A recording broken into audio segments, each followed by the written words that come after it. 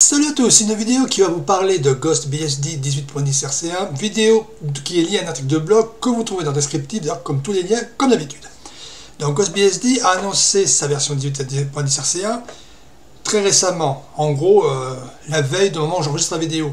Ghost BSD, c'est un free BSD pour utilisateurs normaux, en clair pour les personnes qui savent se raser. À l'origine, il était basé jusqu'à la version 11.1 sur FreeBSD, la même numérotation, mais après ils sont passés à TrueOS. Voilà. With Ghost, uh, with TrueOS, another hood. En gros, TrueOS, c'est la stabilisation de la branche de développement de FreeBSD. Je suis pas trop fan de l'idée, mais pourquoi pas. Donc, ils ont sorti une euh, version 10.10 RC qui précise dans les notes de publication, ils sont passés de, Ghost, de TrueOS, enfin de TrueOS, depuis ils ont changé de base, ils utilisent maintenant OpenRC, Buzzword, LibreSSL, deuxième Buzzword. On peut mettre à jour en utilisant la base TrueOS, ça vaut mieux. Ils ont viré Grub en faveur du, euh, gestionnaire de démarrage de FreeBSD. Ils ont un, un network manager spécifique. Euh, bon, il y a pas mal de petits trucs qui ont été corrigés. Ça boot directement la session matée. Euh, c'est par ZFS par défaut. Euh, il précise que les ports FreeBSD et les ports les paquets de, Ghost, sont incompatibles. Donc là, voilà, j'ai récupéré l'image ISO. Et comme on est moderne, je me suis dit je vais prendre une machine virtuelle FreeBSD avec 2 Go de mémoire vive et 2 CPU, c'est maté, et je vais mettre dedans l'UEFI. Donc là, on va voir ce que ça donne. On est parti.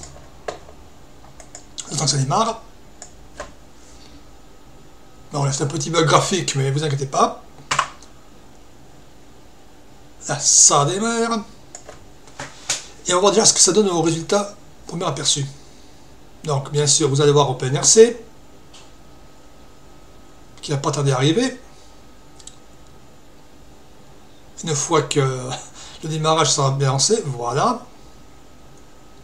Et on a OpenRC 0.35 sur FreeBSD 12 alias Current. Au moment où j'enregistre la vidéo, le 21 octobre, le FreeBSD 12 est encore en version de développement. Pourquoi pas? C'est un peu le principe d'Ubuntu qui prend des biens qui les stabilise avec une régularité tous les 6 mois. C'est le même principe. Sauf qu'on change de base, euh, dirons-nous, d'OS. Voilà, donc on a un Ghost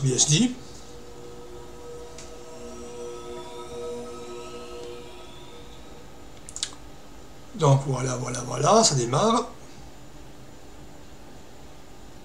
Donc par contre, un tout petit bug que j'ai constaté, c'est que le réseau est un peu feignant. Donc on va juste lui dire, on veut que tu t'actives. Et normalement, au bout de quelques secondes, il sera activé.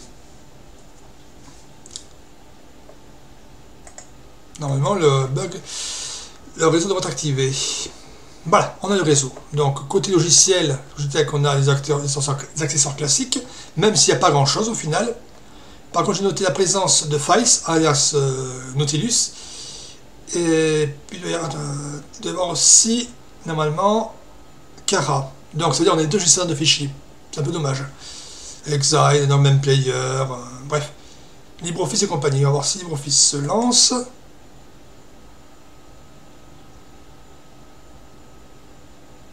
Il met beaucoup de temps, je crois, se lancer même sur un live. Oh, il met beaucoup, beaucoup de temps. Et rien ne bouge, parce que non, donc... Voilà, donc apparemment il y aura un petit bug, on verra si c'est corrigé à l'installation. Euh, donc graphisme, accessoires, bref, on se retrouve avec des trucs classiques. Je vais lancer l'installation. Bien sûr, je couperai pendant l'installation tant qu'elle se fera, parce que voir un GhostBSD installé, c'est passionnant. Donc, on va commencer par mettre en français. C'est le même installateur à peu près que les versions précédentes. Donc,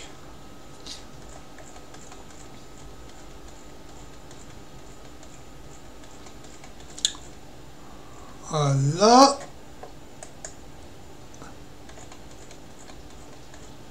Et on veut un, voilà, celui-là. Et on vérifie que le clavier est bien. C'est bon. Next. On choisit le fuseau horaire qui va bien. Et là, on va regarder les options par défaut. Là, je regarde les options par défaut. Je ne vais pas me prendre la tête. Bon, bien sûr, comme c'est une machine virtuelle, je ne vais pas non plus me prendre la tête, même si c'est super weak, je l'en pas out. Voilà, ça, on va pas s'ennuyer. Et on va lancer l'installation. Voilà, donc il est 15h08.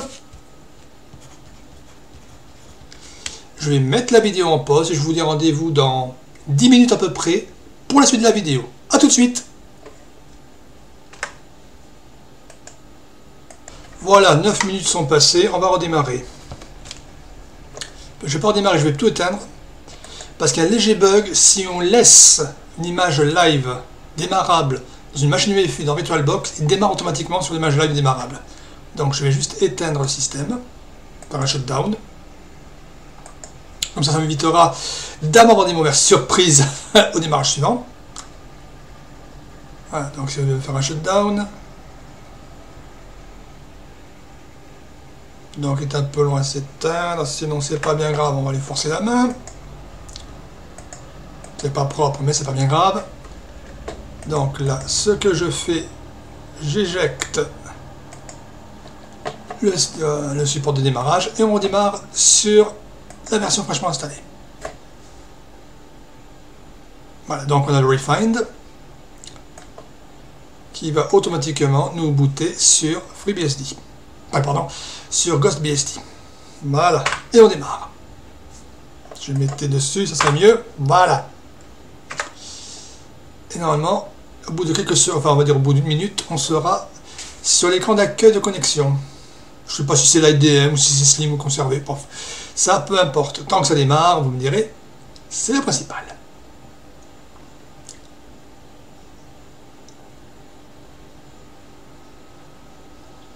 Non, c'est Slim apparemment.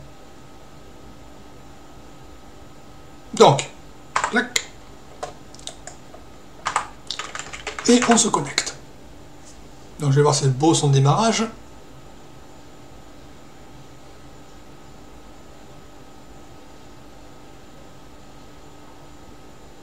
Bon, son démarrage ne démarre pas. Au moins, on a toujours la session qui est fonctionnelle mis à part le petit bug du euh, voilà, enable. Donc on active le réseau. Au niveau du son, euh, contrôle de volume plus audio. Ok. Normalement ça doit être bon. Output device. On va mettre 100%. Et on va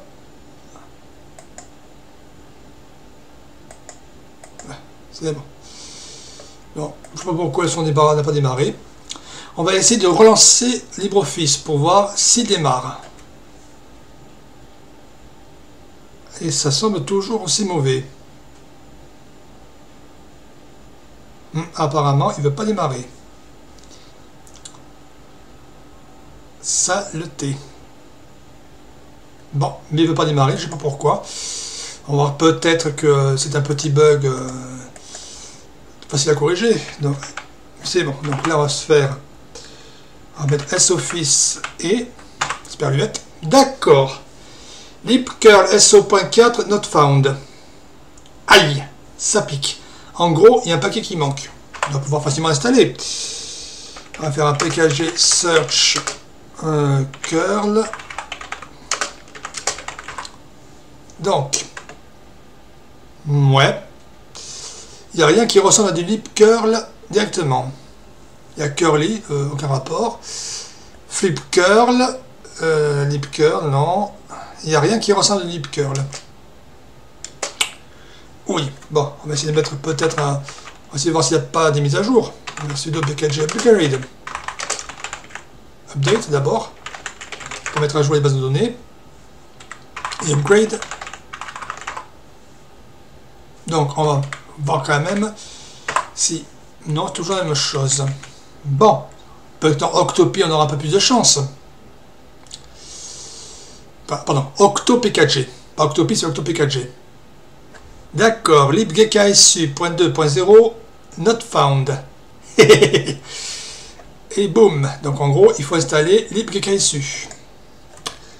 Donc sudo pkg install libgksu. D'accord, mincing depend curl. Oui, oui, oui, oui, Il manque curl et libarchive. Ouh Ah, ça pique quand même. Hein.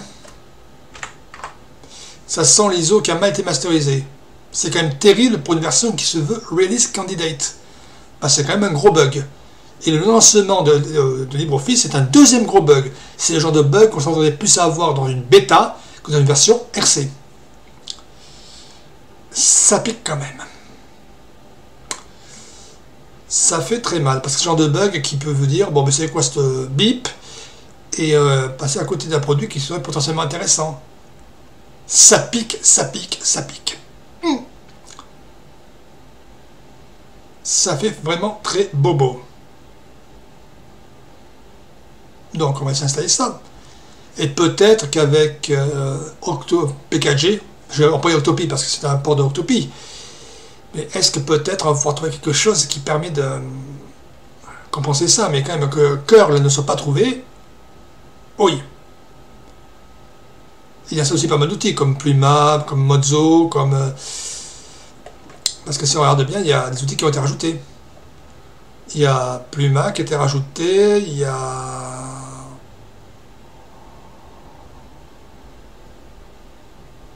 Donc on va relancer OctoPKG. Ah, ça va mieux. Et donc, on va voir si je cherche curl. Peut-être que ça va la même euh, réponse négative. Hein. Donc, en fait, il faut attendre qu'il termine. Mais en tout cas, ça ne donne pas envie, malheureusement. Hein. Alors, serial.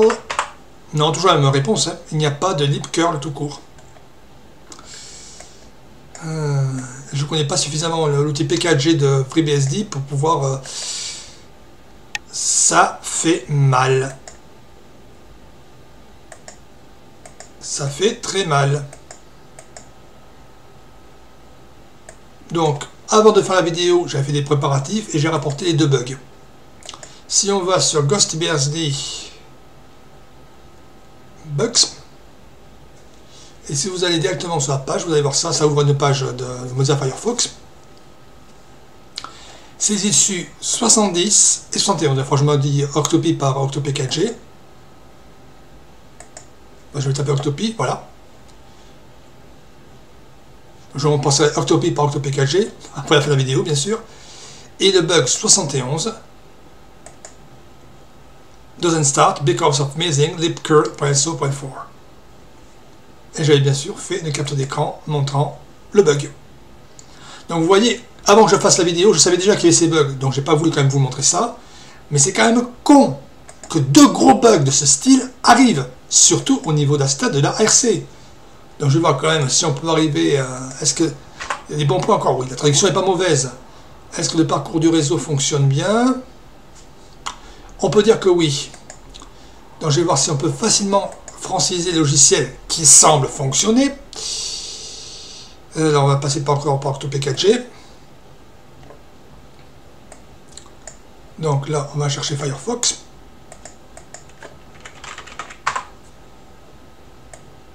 Dans le temps qu'ils finissent de...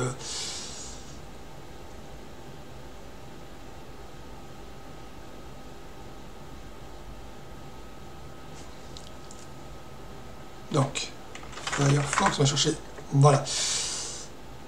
Ah d'accord, il faut juste que je m'amuse à modifier la traduction. Donc on va voir ça tout de suite.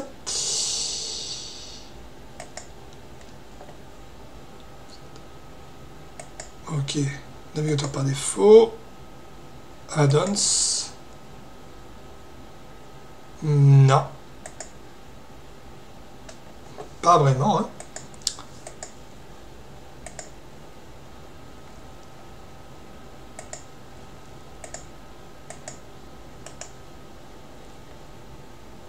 D'accord, je ne l'ai pas installé. je croyais l'avoir installé, ce temps pas fait.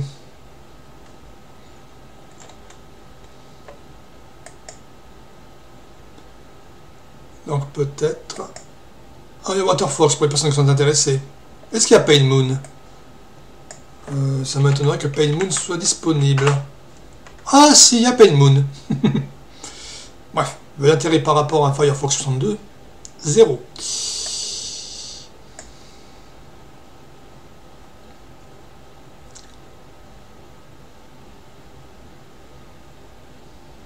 Donc peut-être que ça ira mieux pour les traductions. Ça sera pas difficile. Donc on va attendre qu'ils finissent de récupérer tout ce bazar?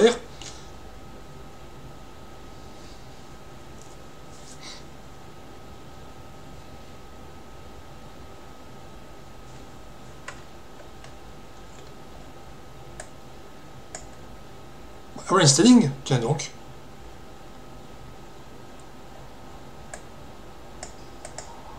Bizarre.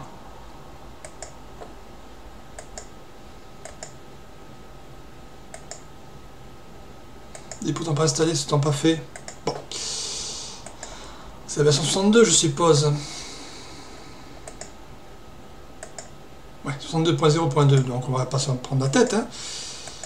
On va le franciser rapidement. 2.ftp mozilla.org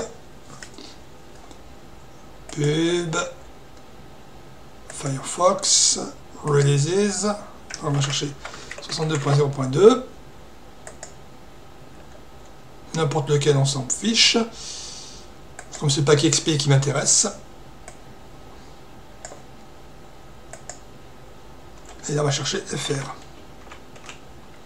et on va l'installer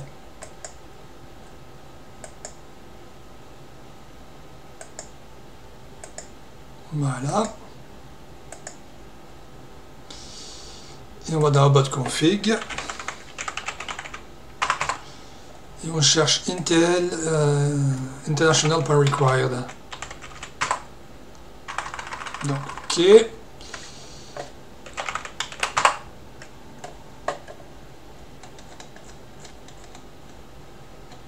Donc, Intel, donc on va faire une nouvelle valeur new string international euh, local requested, je peux me souvenir. Requested. On va mettre FR. Donc normalement, si je me suis pas gouré, je me, souviens bien de tout ça, donc je cherchais. International. Local requested. Bien sûr, c'est avec un et je me suis gouré, c'est sans S. Bon, c'est pas grave. Donc, about config, on va chercher international local. On va juste modifier ça. Modify. Donc, c'est pas grave, on va le verrer.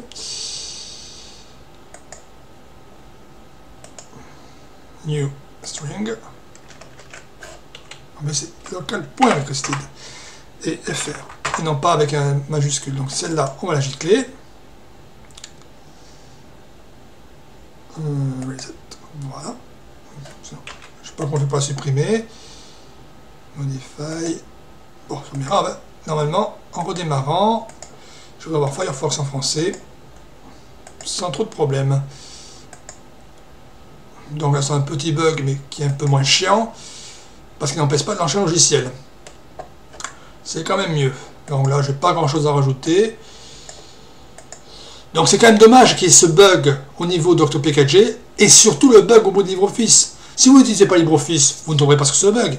Mais si vous avez l'habitude de faire une ou deux de temps en temps, de faire un tableau ou compagnie, vous allez avoir mal. Donc là c'est dommage parce que c'est plus des bugs qu'on sera tenté à trouver dans une bêta que dans une version prête à la publication. Donc là je suis un peu déçu. Donc je vais éteindre. Donc, pour conclure, tant que ça s'éteint, c'est un bon OS. Mais être parti sur TrueOS, c'est peut-être pas la meilleure solution qu'ils avaient. Dommage qu'il y ait deux gros bugs que j'ai rapportés qui touchent vraiment le projet et qui le rendent limite inutilisable sur certains plans. Dommage aussi pour les traductions, mais c'est quand même moins chiant que la possibilité de lancer LibreOffice ou de pouvoir utiliser correctement le gestionnaire de paquets. Bon, il va pas, s'éteindre.